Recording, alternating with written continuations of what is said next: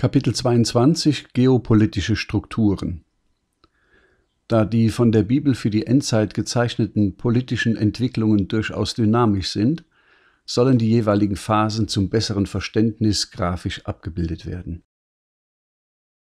Kapitel 22.1 Phase 1 Kurz vor Beginn der 70. Jahrwoche Zunächst entsteht die Dekapolis als ein Städtebund, so wie in der Antike. Wie und auf welche Weise dieser Bund zusammenfindet, ist nicht klar. Dennoch beschreibt die Bibel diese aus der Antike mehrfach bekannte Struktur für die Endzeit. Damit ist das in Daniel 7 genannte Tier mit den zehn Hörnern entstanden. Das Gebiet der Dekapolis gehört eigentlich zu Israel, denn es ist das ursprüngliche Gebiet des halben Stammes Manasse, der jenseits des Jordans blieb und nicht ins gelobte Land einzog. Aus dieser Gegend wird das sogenannte Tier aus dem Land kommen. Damit kommt es aus dem Land Israel, genauer aus dem Stammesgebiet Manasses, jenseits des Jordans. Das Tier aus dem Land ist ein okkulter politischer Führer aus Transjordanien, der zunächst lediglich die Dekapolis beherrscht. Er ist der falsche Prophet. Kapitel 22.2 Phase 2 kurz vor Beginn der 70. Jahrwoche. Mehr oder weniger gleichzeitig bricht das moderne Israel auseinander, und zwar in ein Nordreich und in ein Südreich, so wie das im Alten Testament schon seit den Söhnen Salomos war.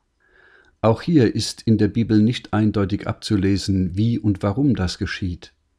Für die Endzeit ist lediglich vorausgesagt, dass Israel sich in Juda und Ephraim aufteilen wird. Kapitel 22.3 Phase 3 kurz vor Beginn der 70. Jahrwoche. Nachdem sich die Dekapolis zusammengefunden hat, usurpiert der falsche Prophet, das Tier aus dem Land, das Nordreich Israels. Das ist ebenfalls in der Bibel nicht eindeutig beschrieben, ist aber naheliegend und entspricht der historischen Entwicklung, weil Pekach das im 8. Jahrhundert vor Christus tat, als er seinen König Pekachia tötete und sich an seiner Stelle zum König von Israel machte. Der falsche Prophet fügt damit Nordisrael in sein politisches Einflussgebiet ein. Wie schon gesagt, beschreibt die Bibel nicht genau, wie und warum Israel in der Endzeit in ein Nord- und ein Südreich auseinanderbricht, aber dass es geschieht, ist vorhergesagt. Denn die prophetischen Vorhersagen, unter anderem aus Jesaja und die Prophetien aus der Johannesoffenbarung, setzen diese politische Struktur für die Endzeit als gegeben voraus. Kapitel 22.4 Phase 4 kurz vor Beginn der 70. Jahrwoche Bald danach und noch vor Beginn der 70. Jahrwoche schließen Damaskus und die Neodekapolis ein Bündnis. Daniel 9, Vers 27 nach der neuen evangelistischen Übersetzung. Für eine Jahrwoche wird der Fürst einen starken Bund mit den vielen schließen.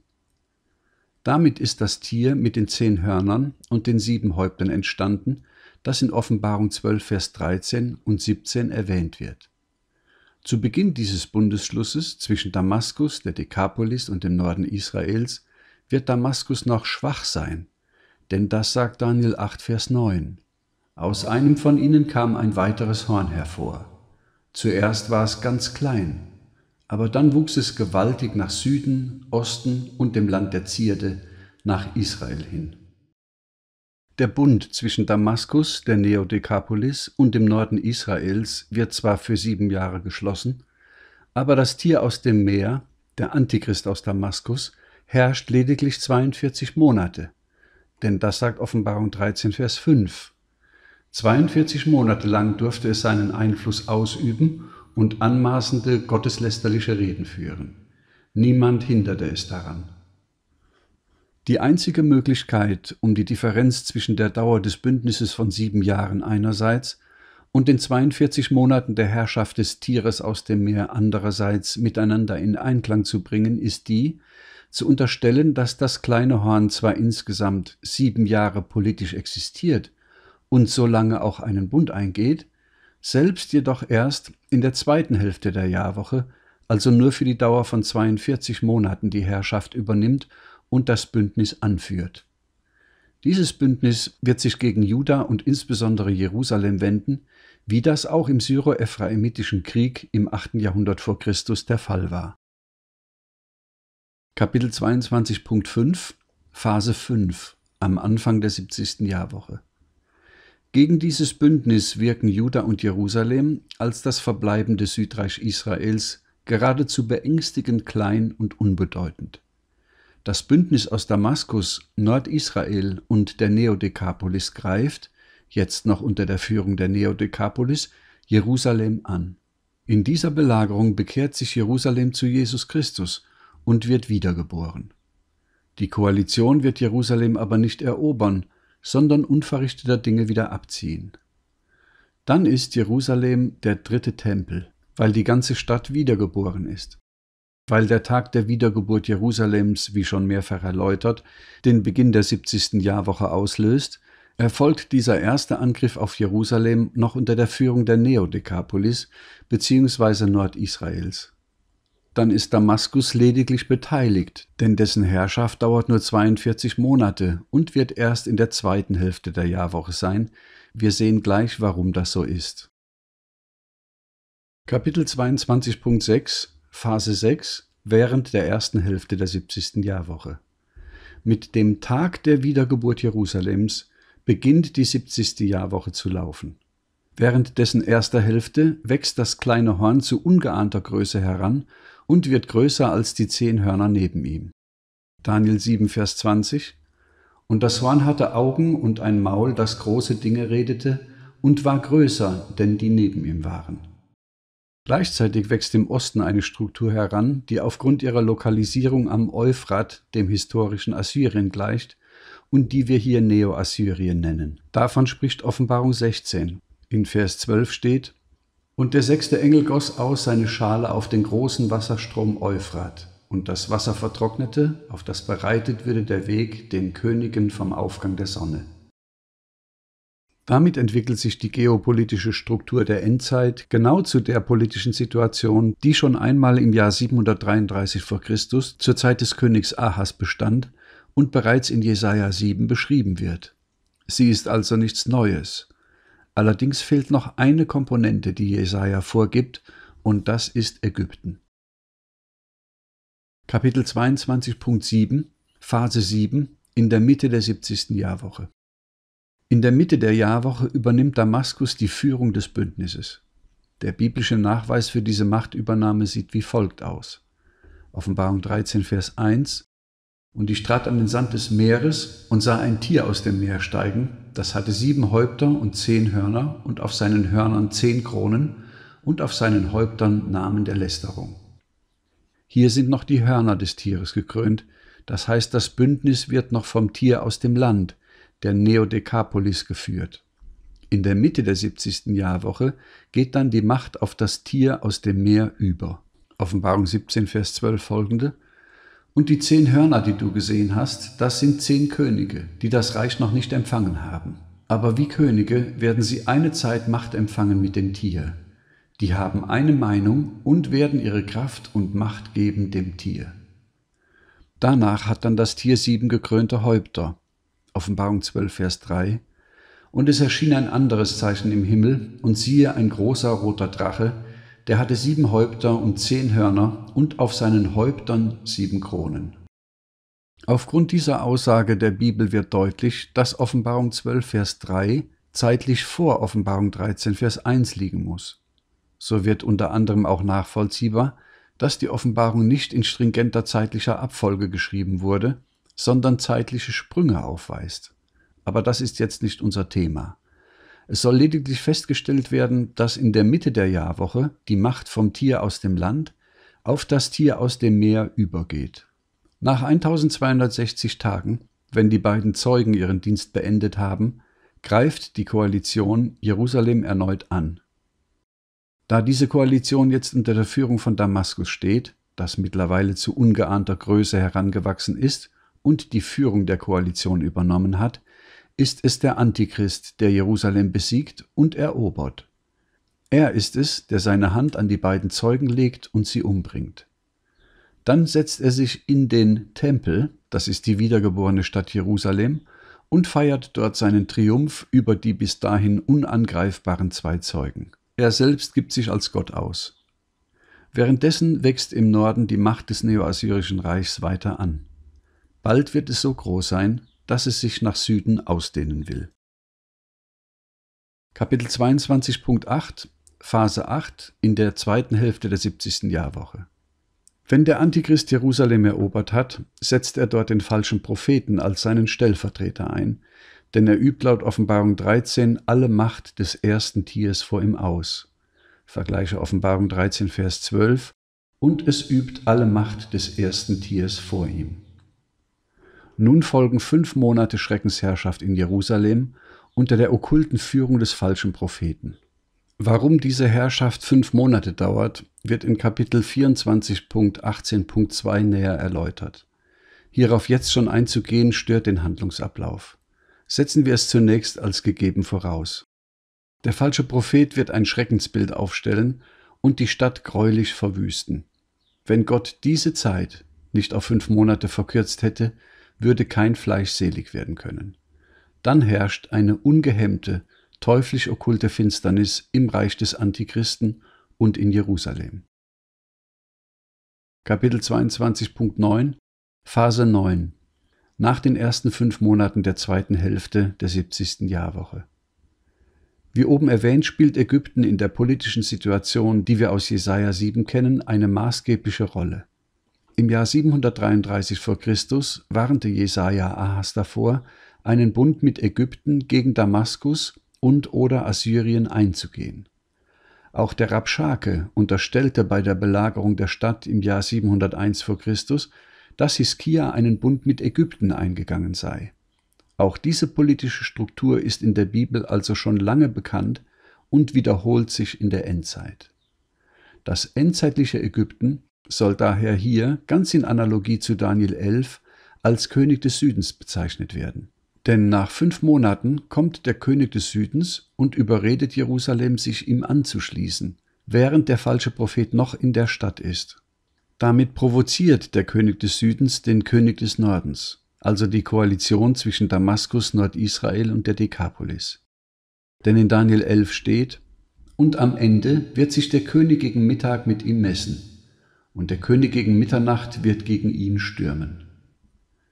Daniel 11, Vers 40 sagt somit, dass die Provokation vom König des Südens ausgeht. Der König des Nordens zieht dann gegen ihn und bekämpft und erobert Jerusalem erneut.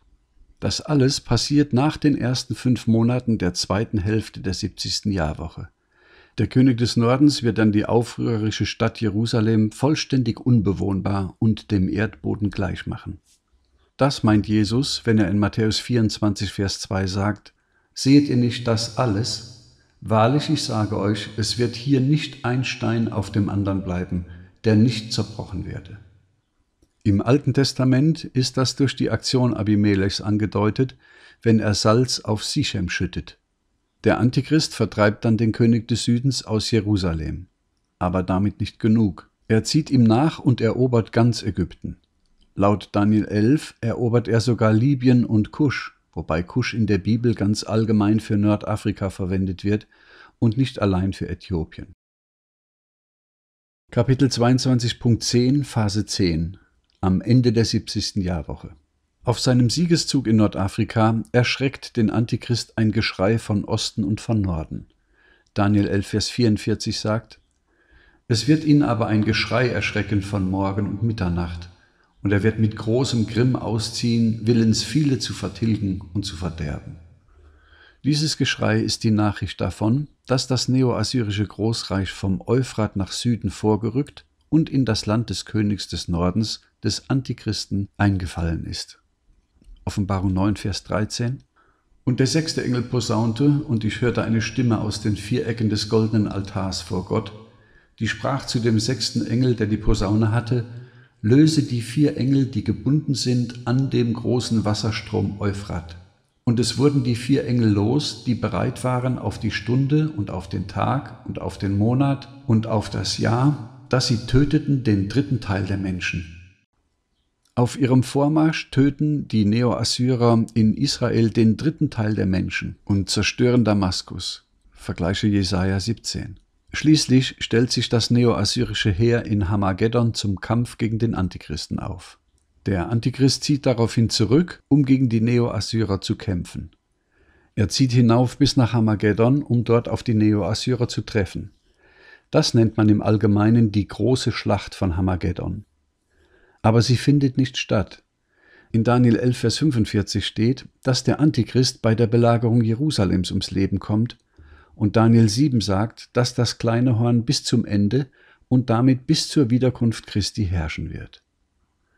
Er wird den Höchsten lästern und die Heiligen des Höchsten verstören und wird sich unterstehen, Zeit und Gesetz zu ändern. Sie werden aber in seine Hand gegeben werden, eine Zeit und zwei Zeiten und eine halbe Zeit. Danach wird das Gericht gehalten werden.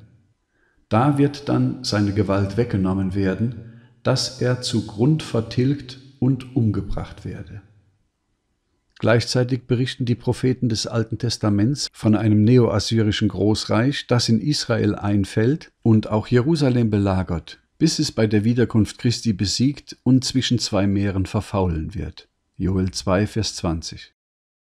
Es werden also zwei Heere, das des Antichristen und das der Neoassyrer, gegen Jerusalem ziehen und dort mit allen ihren Verbündeten zum großen Gerichtstag des Herrn versammelt werden. Kapitel 22.11, Phase 11 am Ende der 70. Jahrwoche.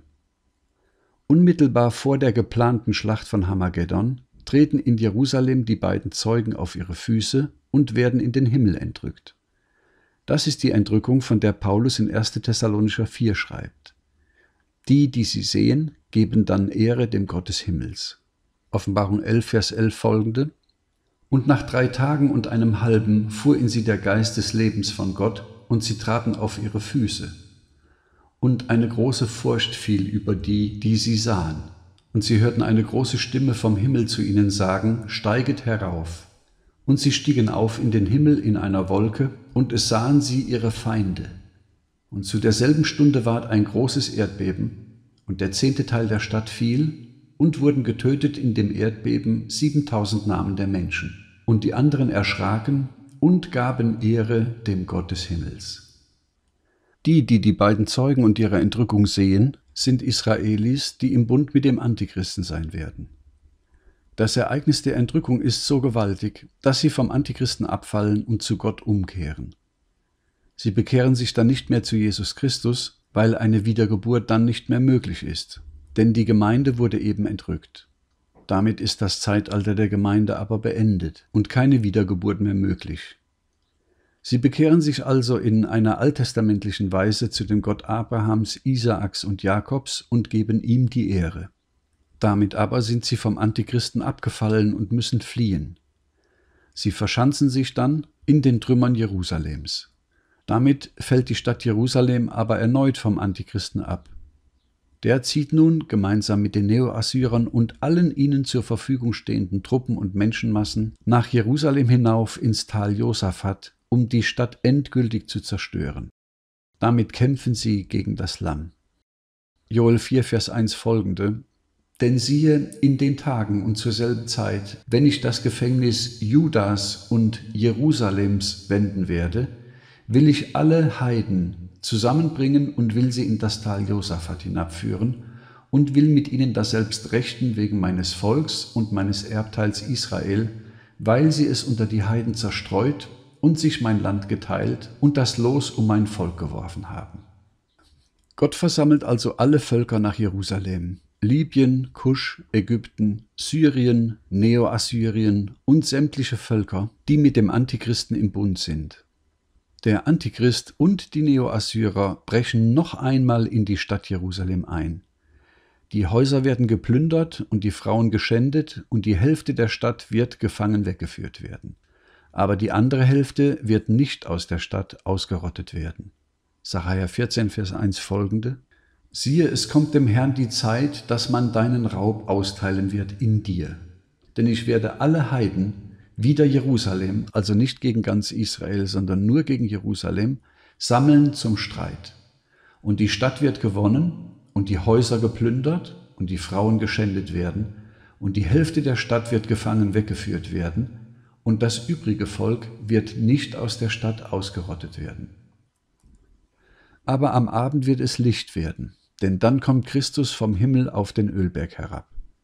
Der Ölberg teilt sich dann in zwei Hälften nach Norden und nach Süden, sehr weit voneinander, und in diesen Zwischenraum flüchten die, die bei der Entrückung der beiden Zeugen dem Gott des Himmels die Ehre gaben. Sacharja 14, Vers 3 folgende aber der Herr wird ausziehen und streiten wieder die Heiden, gleich wie er zu streiten pflegt zur Zeit des Streits. Und seine Füße werden stehen zu der Zeit auf dem Ölberge, der vor Jerusalem liegt gegen Morgen. Und der Ölberg wird sich mitten in zwei spalten, vom Aufgang bis zum Niedergang, sehr weit voneinander, dass sich eine Hälfte des Berges gegen Mitternacht und die andere gegen Mittag geben wird. Und ihr werdet fliehen in solchem Tal zwischen meinen Bergen. Da wird dann kommen der Herr mein Gott und alle Heiligen mit dir. Zu der Zeit wird kein Licht sein, sondern Kälte und Frost, und wird ein Tag sein, der dem Herrn bekannt ist, weder Tag noch Nacht, und um den Abend wird es Licht sein.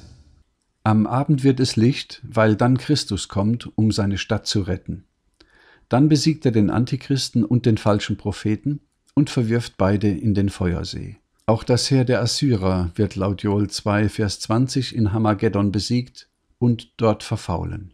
Dann richtet Christus sein tausendjähriges Friedensreich auf.